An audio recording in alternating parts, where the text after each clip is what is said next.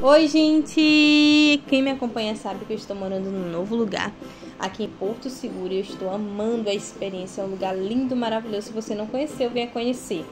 Com essa paisagem perfeita, gente, a criação do Eterno é linda e eu estou apaixonada.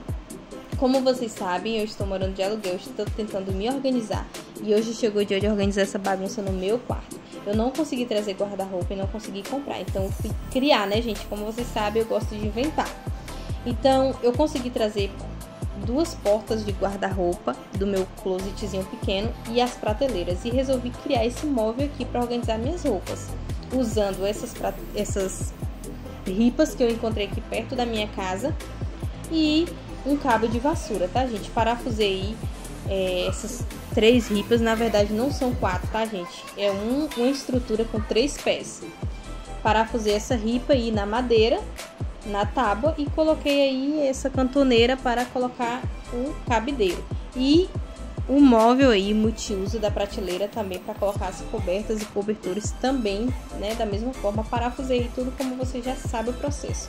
E ficou super organizado, vou deixar tudo na descrição do que eu usei, tá, gente? Eu espero que vocês tenham gostado. Se gostou, curte, comenta, compartilha e me segue aqui para mais transformação como essa. Beijos!